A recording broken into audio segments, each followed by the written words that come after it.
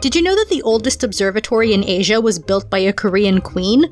Because I sure didn't. Queen Seondeok of Silla was the first female ruler of Korea, and her reign was marked by a flourishing of the arts and sciences. Seondeok was a clever lady herself, as she inherited the throne based solely on her intellect. Not everyone agreed with having a woman as a ruler, so she went those guys and began implementing policies that included tax exemptions for peasants, tax reductions for the middle class, and improvement in the care of widows and widowers, orphans, the poor, and the elderly. So, how did she end up building this? Seondeok took up an interest in astronomy at a time when it wasn't common for women to be educated.